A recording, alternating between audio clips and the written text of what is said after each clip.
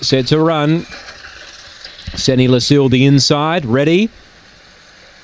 And away. Senny Lucille away well. Good speed. Roxy Lynn's going to carve and lead. Sweet Kiss was trying to get over, but uh, Roxy Lynn left in front by three.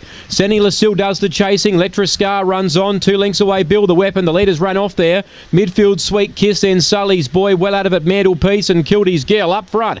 Well, it's on here. Out wide again. Senny Lucille comes at the lot of them. Late is Bill the weapon, but Senny Lucille beat Bill the weapon in a roughhouse affair. Electra Scar might have grabbed third on the line from Sweet Kiss. Sully's boy, Roxy Lynn, wanted to go via the Cape early on. Kildy's girl back to the rear with medal Mantelpiece.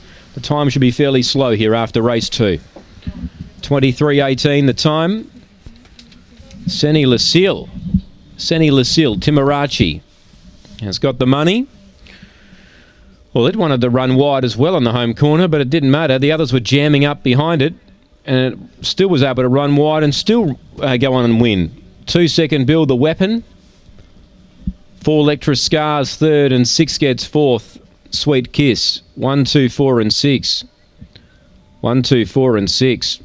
Boy, oh boy. Uh, 23 18 the time. 10 14 the early sectional. 13 04 the run home.